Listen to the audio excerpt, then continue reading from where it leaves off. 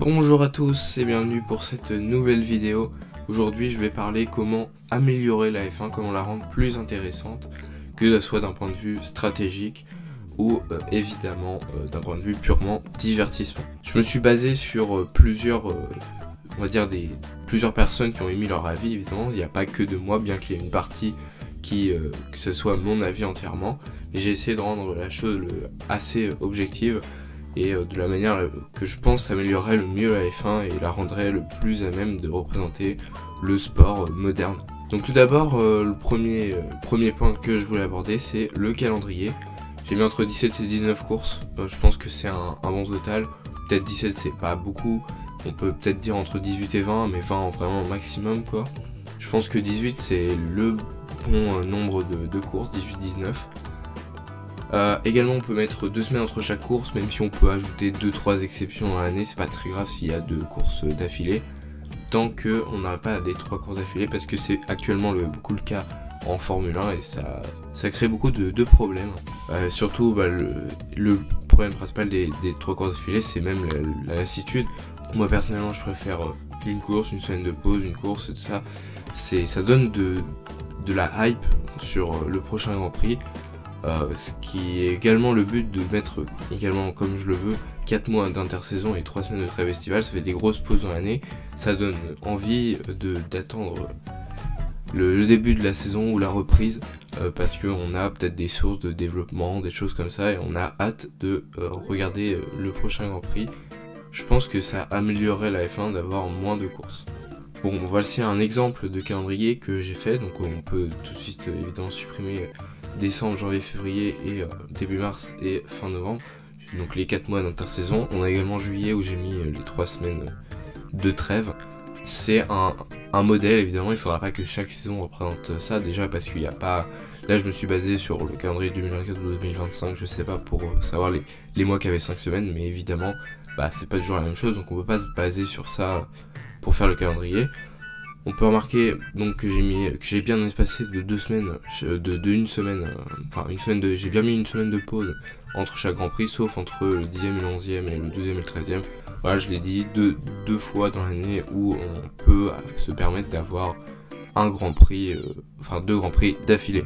Voici également le calendrier d'un point de vue des circuits, parce que j'en ai pas trop parlé, mais évidemment c'est un gros problème aujourd'hui de la Formule 1, on a des circuits qui sont pas forcément terribles, il y en a qui sont toujours bien.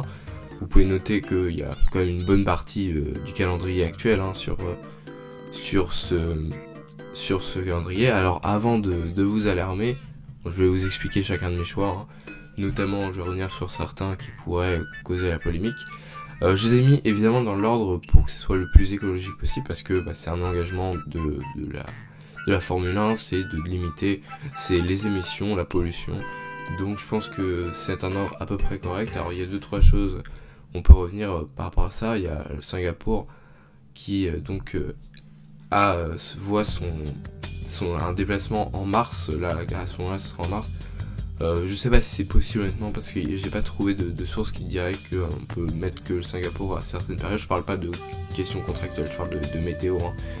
Évidemment, bah si ce n'est pas possible, même si ça m'étonnerait, étant donné que la Malaisie qui est pas loin, bah, se trouvait en début de saison souvent. D'ailleurs, je l'ai mise juste avant, c'était le, ça annonce le, retour de Sepang selon moi. J'espère qu'il y aura un retour bientôt de Sepang au calendrier de la F1, ce qui semble assez probable, même si pas trop non plus.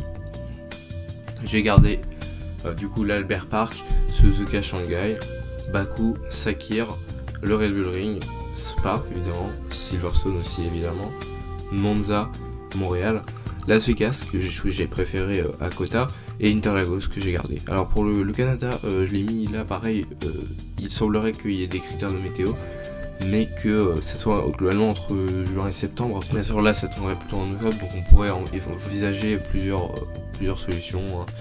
Mais c'est globalement dans les gros signes, j'ai pas scruté précisément les dates que pouvait causer ce calendrier. Alors pour le Grand Prix d'Espagne, j'ai choisi Madrid, même s'il y a pléthore de, de, bons circuits en Espagne, mais euh, pas beaucoup qui, je pense, mériteraient d'accueillir la, Formule 1. Parce que la Formule 1, c'est quand même spécial. Et donc j'ai hâte de voir ce que ça a donné à Madrid. Hein. Je vais pas du tout euh, dire que c'est un mauvais circuit avant de l'avoir vu. Mais j'ai hâte de voir. Sinon, bah, on mettrait Catalogne, même si c'est pas un très bon Grand Prix, Barcelone. Pour le Grand Prix de France, j'ai choisi le Paul Ricard parce que je voyais pas trop Manicourt. Encore moins le Bugatti, parce que le Bugatti c'est pas adapté à la Formule 1, c'est clairement pas trop le but. Mais euh, mon Manicourt, euh, c'était pas des courses folles hein, à l'époque. Dans les dernières courses en 2008, euh, bon voilà, il n'y a pas. c'est pas beaucoup revendiqué comme un, très grand circuit de Formule 1 le Paul Ricard non plus, mais au moins il y a des infrastructures qui ont été bien installées pour les grands prix qui ont, qui ont eu lieu entre 2018 et 2022. Donc euh, je pense que le Paul Ricard c'est le meilleur choix euh, de circuit euh, en France. Bon enfin, Grand Prix d'Allemagne, j'ai choisi de mettre Hockenheim, qui donc pourrait, hein, on peut imaginer des alternances hein, évidemment avec le Nürburgring par exemple, mais Hockenheim c'est quand même le meilleur circuit allemand de la Formule 1 Pareil, on pourrait imaginer des plus d'autres alternances dans, tout ce dans tout ce, classement évidemment. J'ai choisi de, représenter chaque continent donc en mettant euh, donc euh, Calami en Afrique du Sud. Bon, on pourrait peut-être imaginer d'autres d'autres circuits en Afrique. Je me suis pas j'ai pas fait non plus énormément de recherches là-dessus. Calami étant le plus connu, celui qui a accueilli la Formule 1 a quand même pas mal de reprises. J'ai choisi donc Bahreïn pour représenter le Moyen-Orient, mais c'est pas vraiment un continent évidemment, mais c'est une région du monde qui, quand même est beaucoup représentée en Formule 1 actuellement, puisqu'il y a 4 courses. Pour moi, la seule qui. Enfin, la meilleure, on va dire, c'est Sakir. On aurait pu imaginer Jeddah euh, en plus, et peut-être le Qatar, mais en tout cas pas Abu Dhabi, puisqu'Abu Dhabi c'est quand même un très mauvais circuit, hein, on va pas se mentir. Donc celui-là, je l'avais exclu parmi les premiers de mon calendrier. Ensuite, euh, je propose de changer euh, radicalement le format de, toutes les saisons. Je propose d'imposer le système de course sprint euh, à chaque week-end. N'hésitez pas à me contredire si vous n'êtes pas d'accord et exprimer évidemment vos arguments, hein, parce que je suis toujours prêt à, à, les recevoir. Je pense pas que moi personnellement que ça dénature la Formule 1, je pense que ça ajoute de l'enjeu, parce que là, comme vous pouvez le voir, on commence directement avec deux essais libres euh, le, vendredi, mais aussi les qualifications sprint, ça rajoute de l'enjeu dès le vendredi, ce qui est intéressant pour les fans, et aussi peut-être même pour les pilotes. Hein. Mais euh, j'ai essayé de rajouter un petit peu d'essais libres quand même, donc euh, on pourrait imaginer les essais libres 1 le matin, donc une heure et demie j'ai rajouté pour pouvoir compenser évidemment, et les essais libres 2 juste avant la qualif sprint, donc de 30 minutes ces essais libres 2. Justement, la course sprint qui serait le samedi matin, parce qu'on change pas une formule qui gagne. Je trouve que la formule 2024 actuellement, on a eu trois exemples, il me semble. C'est pas non plus hyper représentatif, il faudra voir à la fin de la saison ce que ça donne. Mais honnêtement, c'était pour, pour moi, c'était les meilleurs formats de, de que j'ai jamais suivi en Formule 1. C'était hyper intéressant. Et puis on garde également la euh, qualification de la course principale le euh, l'après-midi, le système de Q1, Q2, Q3 qui marche très bien euh, comme toujours actuellement, ce qui est d'ailleurs pour moi l'une des, l'une des choses qui marche très bien en Formule 1 euh, actuellement. Le dimanche, j'ai décidé de donc évidemment garder le Grand Prix parce que ça reste l'essence de la Formule 1, mais de réduire la taille. Donc actuellement on est sur 305 km il me semble. Là je allé 200 comme ça. Bah vous pourrez le voir euh, après, mais ça réduit la taille des, réservoirs et donc ça, par conséquent, la taille des monoplaces, le poids, euh, la largeur, la longueur, s'en retrouve diminuer, ce qui pourrait augmenter les batailles. Également, bah, là vous pourrez remarquer le barème de points.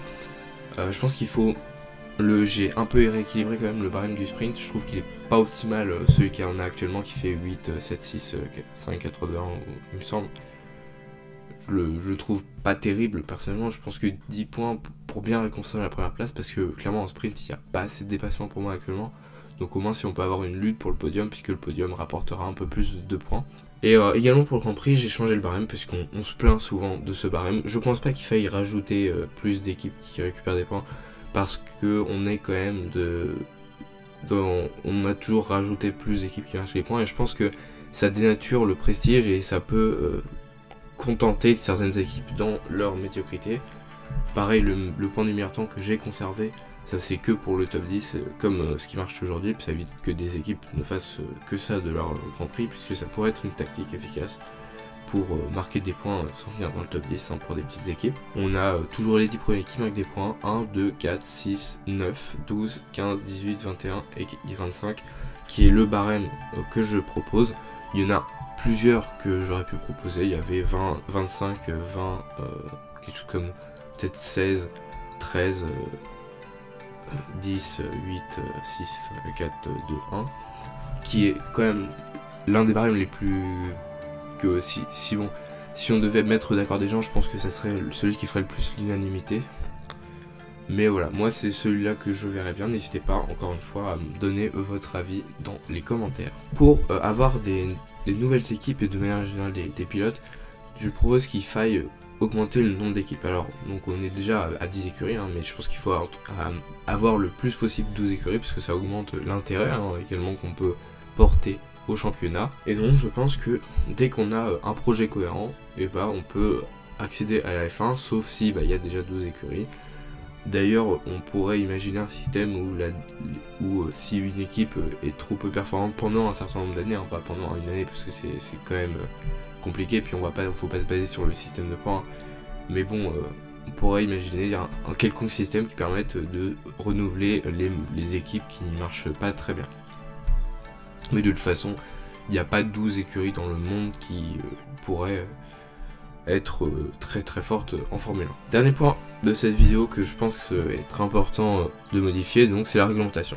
Alors comme je l'ai dit, hein, la distance maximale de course étant réduite, on peut imaginer même logiquement hein, d'avoir des réservoirs plus petits et des monoplaces qui diminuent en poids, longueur et largeur, comme je l'ai dit.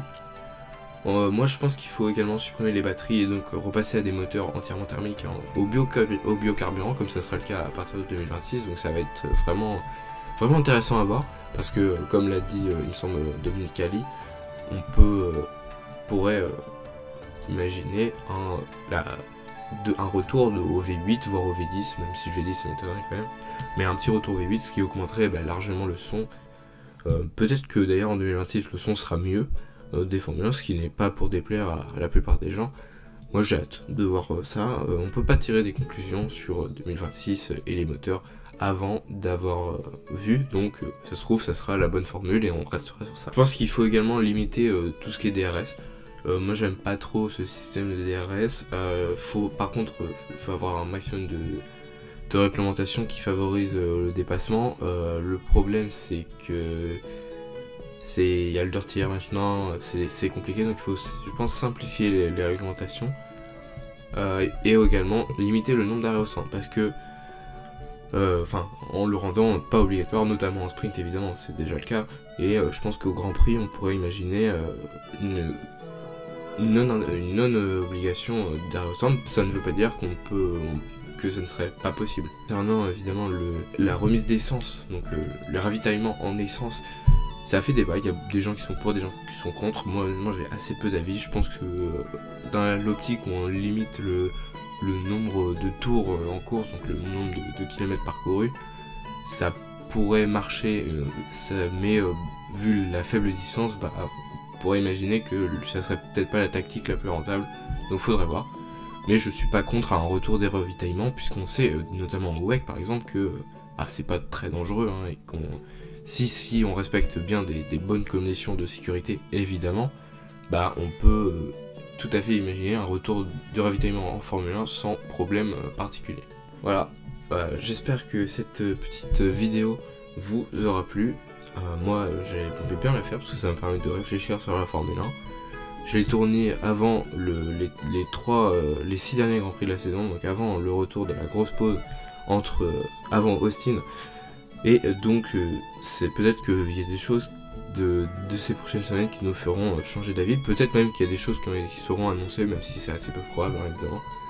Mais en tout cas, euh, moi, je vous souhaite une bonne journée, une bonne soirée, tout ce que vous voulez. Je sais pas quand est-ce que vous regardez la vidéo. Allez, ciao